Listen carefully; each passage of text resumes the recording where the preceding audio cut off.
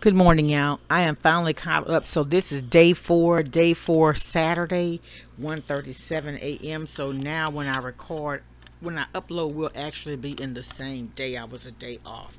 So our day four of prayer is prayer for the spirit of purpose. And the scripture is Proverbs 4 and 25. Proverbs 4 and 25 reads,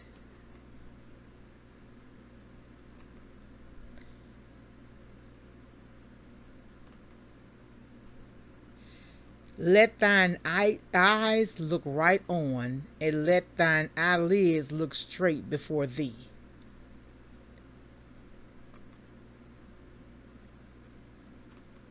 So today's commentary seven steps to find your God given purpose in life. And this is by Kevin Payne, Kevin T. Payne. Seven steps to find your God given purpose in life. Number one is turn to the Bible. Number two is pray for direction. Number three is follow the will of God. Number four, promises of God. Number number five, living a purpose driven life. Number six, how to apply God's purpose in your life. And number seven, a personal challenge. So turn to the Bible. He says, God has left us with a wealth of knowledge of the Bible to help us. I'm sharing knowledge which what has been revealed to me through my personal lessons in life. I must admit I don't have all the answers, but I can point you to the source that can help you find your God-given purpose. I believe to live a life with both passion and purpose, we must continue to learn who Jesus Christ is and what he says our purpose in life is. We're created in his image, so his life reflects many character traits we should seek to live out on a daily basis. So, number two, pray for direction.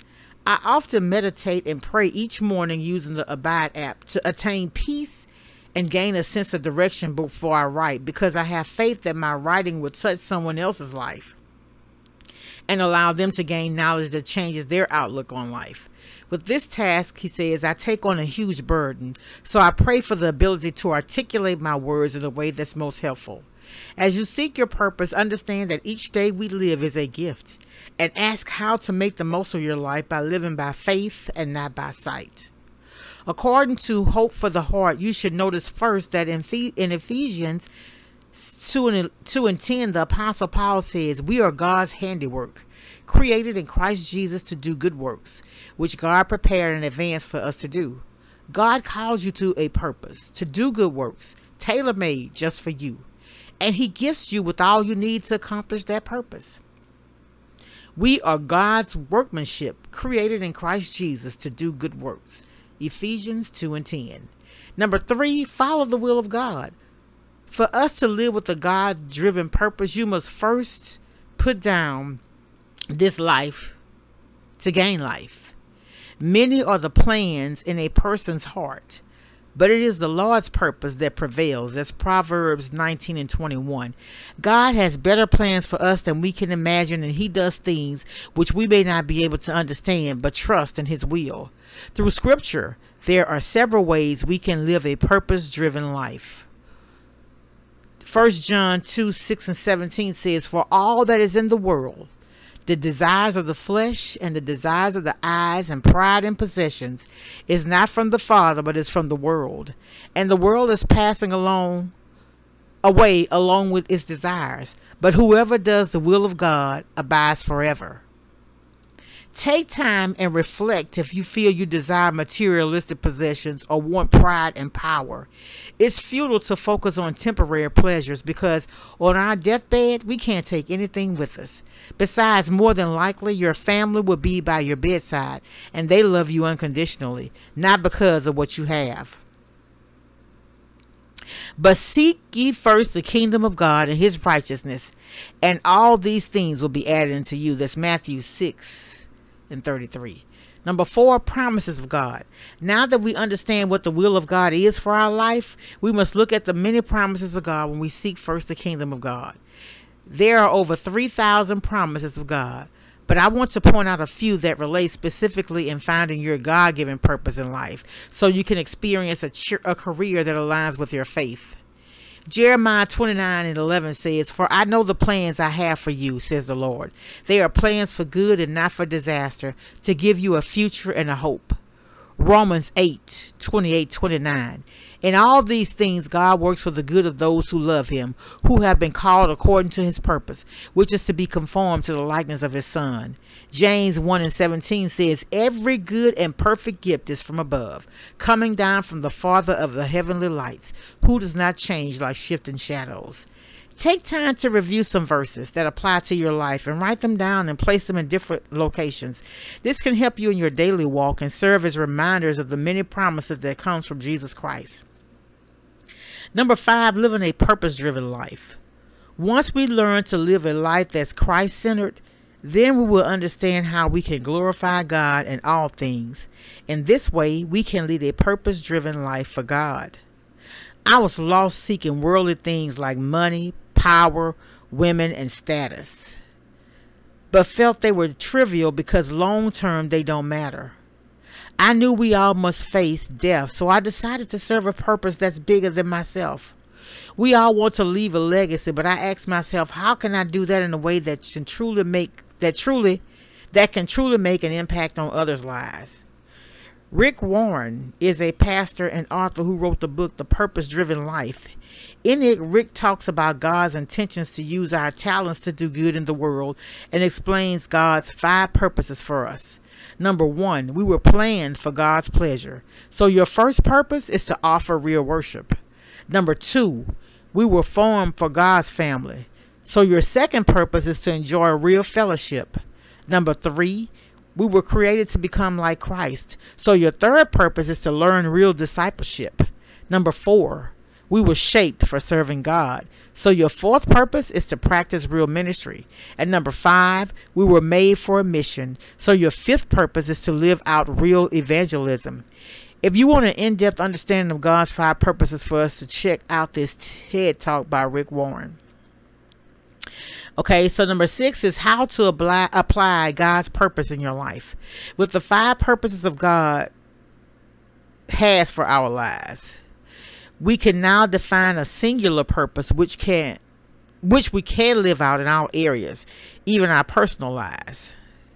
To live your life fully with purpose, you must choose a profession you're passionate about and integrate God's five purposes for your life.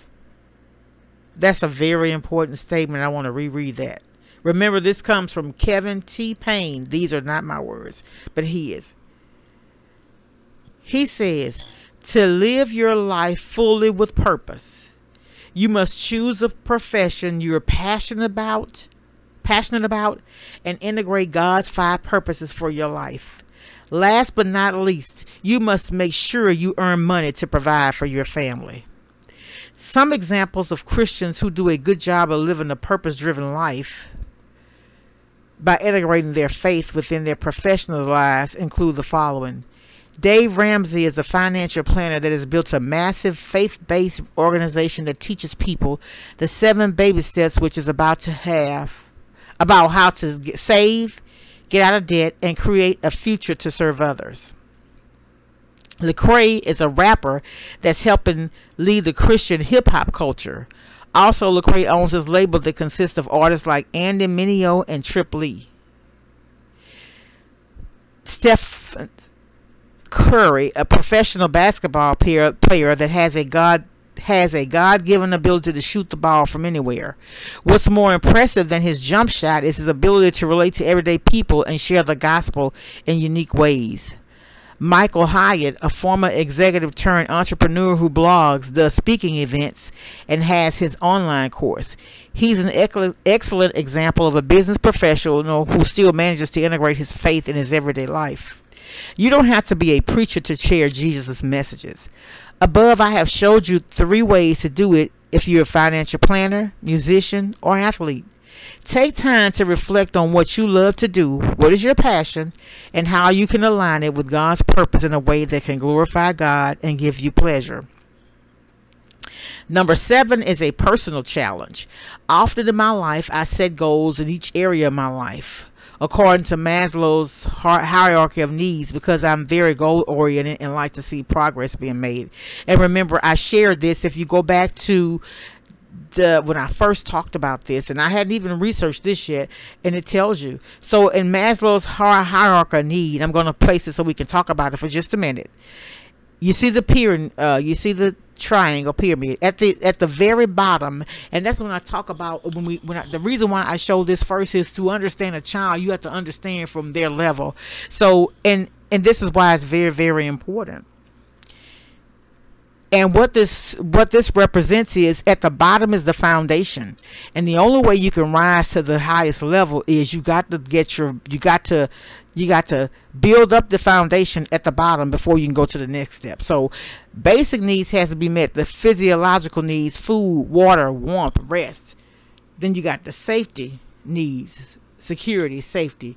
Then you got belongingness and love needs. That's where your intimate relationships come in at. Esteem needs feeling accomplished and then self actualization is when you're achieving your full potential, including creative activities. So that's why when you find children that are hungry, it's very hard for a child to be their best if they come into school um, hungry, you know, um, haven't slept all night because the parents fussing or they got a new baby in the house or just because they can't sleep because they're hungry. So you have to understand that all these needs has to, has to be met. And so um, it's very very important kids are not just something that you dress up and make look pretty for instagram or for facebook children requires a lot of work there's so many things that they need and you're responsible for them getting that okay and this serves as both a blessing and a curse because sometimes he says i find myself having anxiety and trying to meet the goals that had been achieved by others which are a sin don't focus on other people's goals and accomplishments worry about your own you understand? Because I, I like something that one sexy Tina said. Uh, she said that your beginning may be my middle. So we're all at different stages in life. You understand?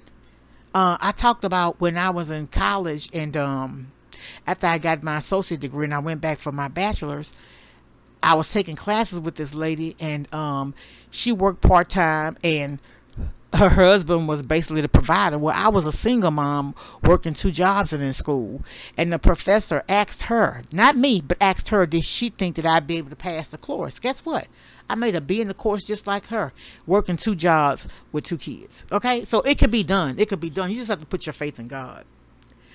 And he says, My challenge is that you will live your life in a way that glorifies God, but march to your drum. We are all created in his image, but we each are unique, and none of us will experience the same things in life. Dream big, pray, and then seek to do God's will. Religion within the United States is on a steady decline. So if you're reading this article, you now have a purpose bigger than yourself that you can contribute to that which will make a difference.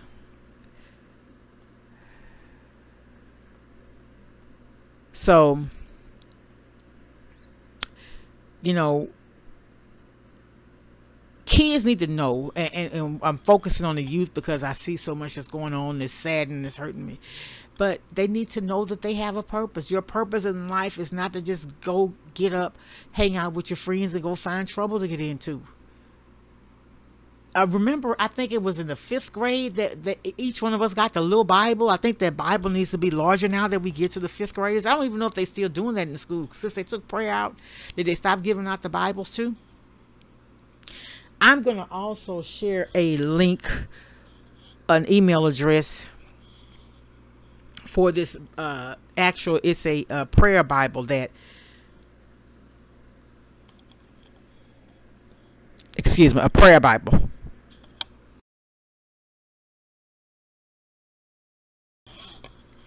So now we're going to prayer. We're going to go into prayer for a life of purpose.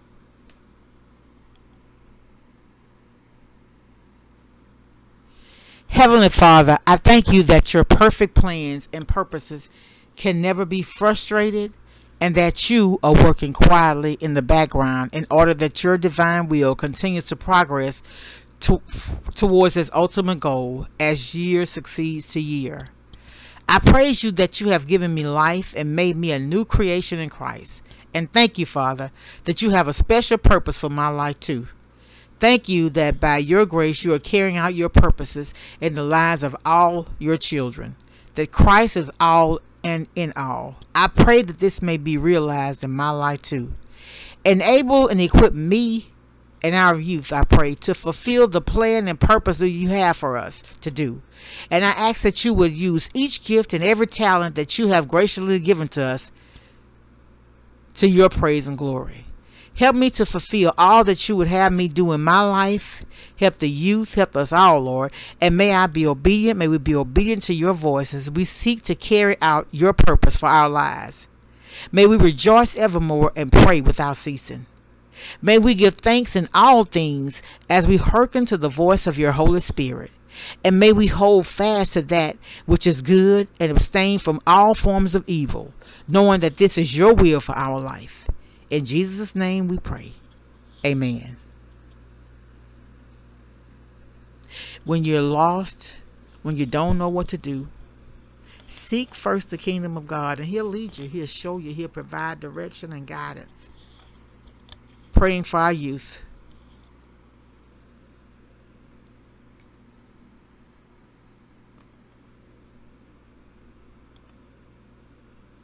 Whenever you have something you want to do, go to God first. All right, you guys. Have a blessed night. Have a happy weekend. Make someone smile. Much love. Bye.